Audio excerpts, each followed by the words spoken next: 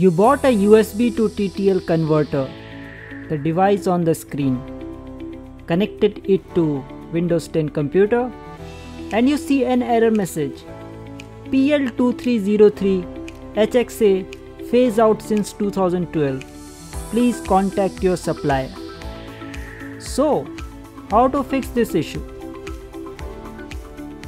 It's simple, but you need to follow the right steps in sequence. So first go to the device manager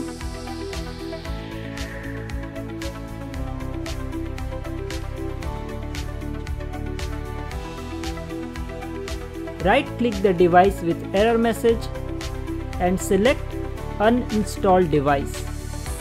After that you will get a confirmation prompt or pop-up with checkbox asking do you want to uninstall the device driver as well?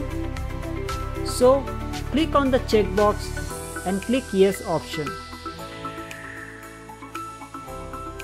Next Unplug the device.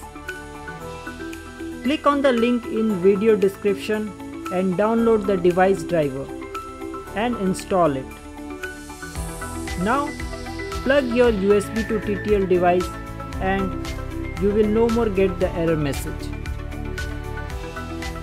If you are still facing the issue, please leave a comment and our team will help you resolving the issue. If you want to buy any home automation product, you can get it from calsob.com.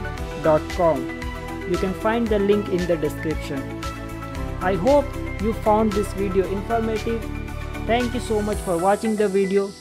If it helped, please give it a thumbs up. Bye bye.